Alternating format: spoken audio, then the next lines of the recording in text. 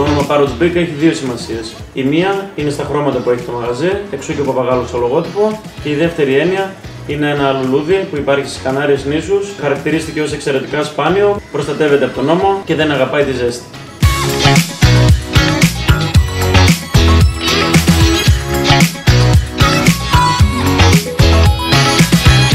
Γενικά αγαπώ τα spirits. Είμαι fan του fine drinking.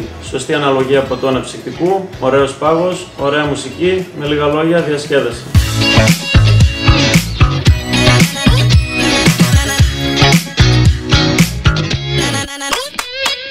Παρακολούθησα λοιπόν το Basic Bartending στη The Bar Institute και αργότερα με την προτροπή, την καθοδήγηση και την εκπαίδευση μιας φίλης της Λορέτα Τόσκα αποφάσισα να στήσω ένα σύγχρονο εργαστήριο για να φτιάχνω homemade προϊόντα. Να γίνω δηλαδή mixologist.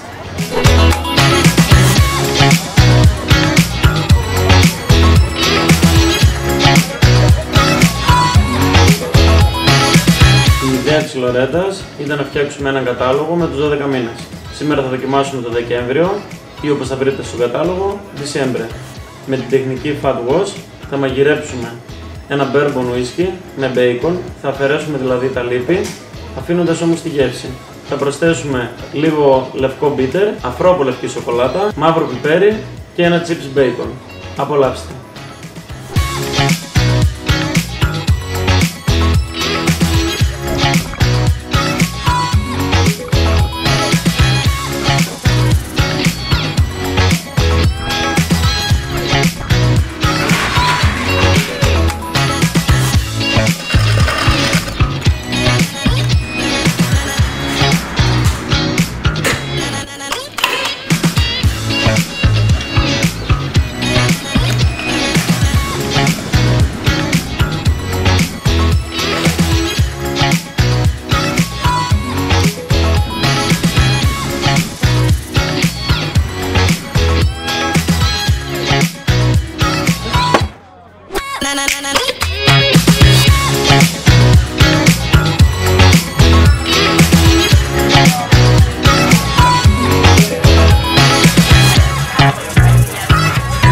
na na na